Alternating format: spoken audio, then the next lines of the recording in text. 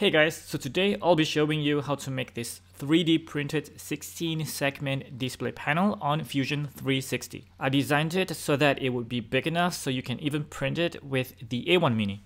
You can use it as a calendar or maybe a countdown sign, but since it's made up of these 16 small segments, it's also possible to show letters on the panel. Or if you feel like it, use it to relieve stress. Look how satisfying this is.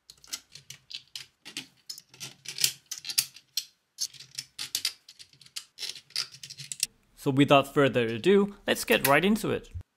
So let's first start with creating a new sketch. You need to define a plane, it could be any, but I'll choose this one.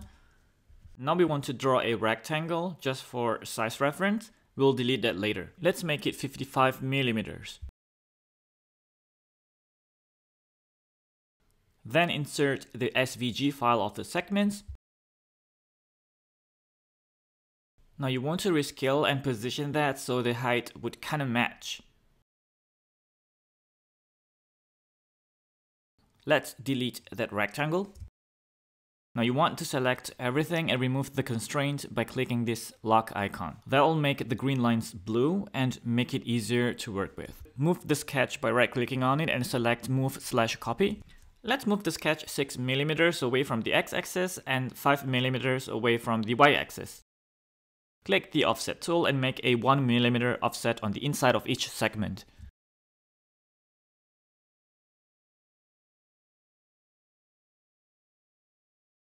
Now you want to select everything and hit Command C or Control C on your keyboard to copy it, then Command V or Control V to paste it. Set the X distance to 43.5 millimeters and hit OK. Continue to make copies of the sketch until you'll end up with uh, four of those. This part is kind of optional, but if you want, you can make a small circle in the middle, like for example if you want to use the panel for showing the date. Let's rename the sketch so it's easier to switch sketches later. Let's copy the entire sketch by clicking Command C or Control C. I want to paste that sketch in another plane, so let's create an offset plane. Choose any blue area of the sketch and set the distance of the offset plane to 40 millimeters. Now you can enlarge the plane if you want, but it doesn't really matter if you don't. Now right click on that plane and choose create sketch. Hit command V or control C to paste the sketch here. Let's rename the sketch while we're at it. I want to work on the plane for the panel first, so I'm going to hide this plane. Right click on the first sketch and select edit sketch. Let's draw a rectangle from the origin and make it 65 millimeters tall and 181 millimeters wide.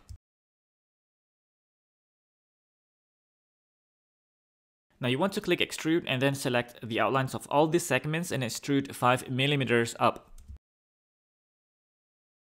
I just realized that I forgot to create an offset for the small circle, so let's do that real quick.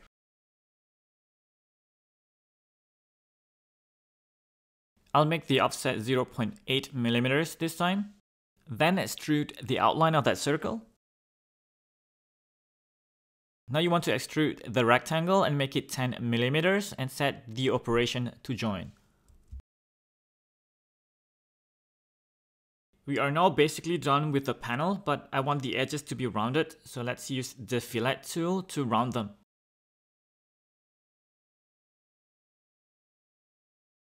Now let's make the caps for the segments. You want to move over to another plane to activate it and hide the first sketch. Let's also hide the panel, right click the sketch and select edit sketch.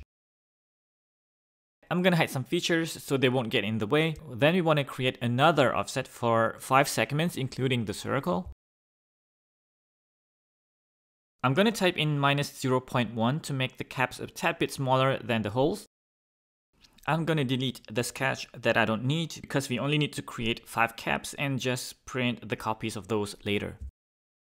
Now click extrude, then select the outline, make sure not to select the most outer line. Extrude 10 millimeters downward and click OK. Now we want to extrude the middle part, but if the sketch disappears, activate it again. Then click extrude, Select the middle part and extrude 0.4 millimeters downward and set the operation to join. Repeat the process for all the other segments. Now we are done. I'm just gonna rename the parts here and export them as STL files individually. Now if you have the time, you could also create a simple box where you can put LED strips in there, but that's entirely up to you. So let's print all these parts and I'll see you guys in a minute.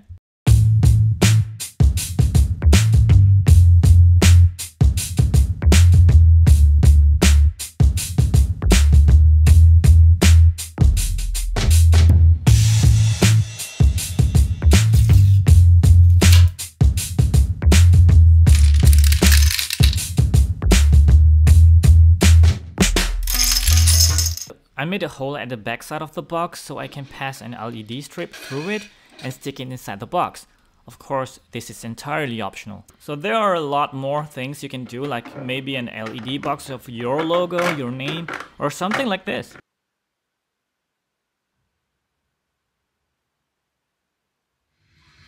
If you don't want to go through all the trouble designing your own panel, you can download the files for the panel which you can find in the description box below. So I hope you find this tutorial helpful and make sure to hit that like button and subscribe to the channel if you haven't. I'll see you guys in the next one.